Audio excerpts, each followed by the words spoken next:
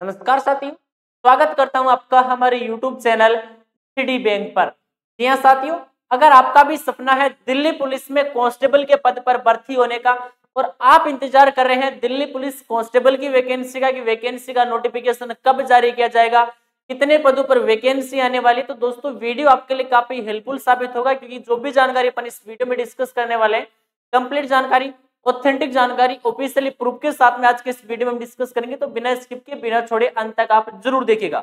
साथ ही आपसे एक रिक्वेस्ट है चैनल को अगर आपने अभी तक सब्सक्राइब नहीं किया है तो चैनल को सब्सक्राइब कर ले और बेल आइकन ज़रूर प्रेस करें। दोस्तों, दिल्ली पुलिस से जुड़ी हर लेटेस्ट अपडेट हम आप तक सबसे पहले पहुंचाते रहते हैं। वहीं पर आप हमें कमेंट करके ज़रूर बताइएगा कि हाल फ़िलहाल में आपकी एज कितनी है, ताकि दोस्तों हम आपको बता सके कि आप इस भर्ती प्रक्रिया के लिए एलिजिबल हैं या फिर नहीं, सबसे पहले दोस्तों मैं आपको लेकर के चलता हूँ, जो हाल फ़िलहाल में आरटीए का रिप्लाई आया है या फिर आरटीए की रिप्लाई आपने देखे भी होंगे कि कितने पद प्रेजेंट टाइम में दिल्ली पुलिस में कांस्टेबल के खाली हैं। तो ये आरटीए भी आपने देखी होगी, लेकिन मैं फिर भी आपको यहाँ पर बता देता हूँ, इसमें क्या क्या जानकारी मेंशन कर रखी है, आपको यहाँ पर बता रखा है कि कांस्टेबल के 5509 यानी कि दोस्तों 5509 वैकेंसी आपकी कांस्टेबल की खाली बताई जा रही है।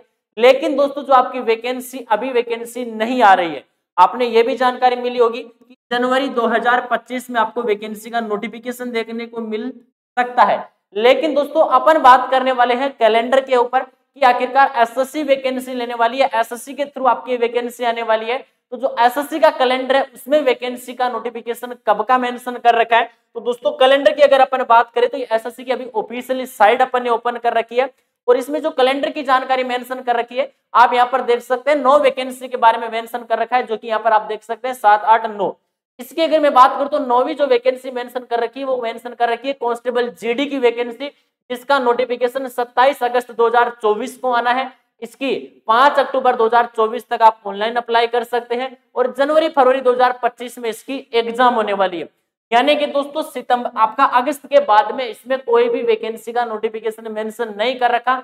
यानी कि कुल मिलाकर बात यह है कि अगस्त के बाद में एसएससी अपना कैलेंडर अपडेट करने वाली है। जी हाँ साथियों एसएससी जो अपना कैलेंडर अपडेट करेगी, उस कैलेंडर में आपकी दिल्ली पुलिस कांस्टेबल की वैकेंसी आपको 100 परसेंट देखने को मिलेगी और कैलेंडर अपडेट अब एसएससी कभी भी कर सकती है। जी हाँ साथियों, हो सकता है 30 अगस्त तक आपको कैलेंडर देखने को मिल जाए, हो सकता है आपका सितंबर के फ़र्स्ट वीक में कैलेंडर देखने को मिल जाए। लेकिन कुल मिलाकर के बात यह है कि 5 सितंबर से पहले पहले एसएससी अपना कैलेंडर जारी करने वाली है या फिर कैलेंडर अपडेट करने वाली है और उसमें आपके दिल्ली पुलिस कांस्टेबल की वैकेंसी मेंशन होगी कि वैकेंसी कौन से महीने में आएगी। तो दोस्तों, अभी तक ये कंफर्म नहीं है कि वैकेंसी जनवरी में ही आएगी। हो सकता है जनवरी में आ जाए, हो सकता है दिसंबर में भी वैकेंसी आ जाए, हो सकता है आपकी जून जुलाई तक वैकेंसी चली जाए 2025 में। लेकिन ये कन्फर्म है कि आपकी सितंबर के महीने में जो कैलेंडर अपडेट होगा, इसमें आपकी एसएससी दिल्ली पुलिस कांस्टेबल की वैकेंसी दूसरी दिल्ली पुलिस एमटीएस की वैकेंसी 100 परसेंट निकालने वाली है।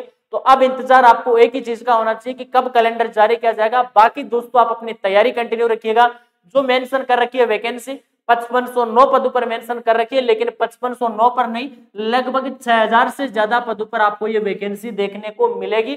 अच्छे खासे पदों के ऊपर वैकेंसी कंडक्ट करवाई जा रही है। Back to back Delhi police में वैकेंसी जा रही है। तो दोस्तों, अपनी तैयारी आप कंटिन्यू रख सकते हैं। बाकी और जैसे हमें कोई और अपडेट मिलेगा तो तुरंत हम आपको वीडियो के माध्यम से करेंगे। इस वीडियो में इतना ही। जय हिंद, जय भारत।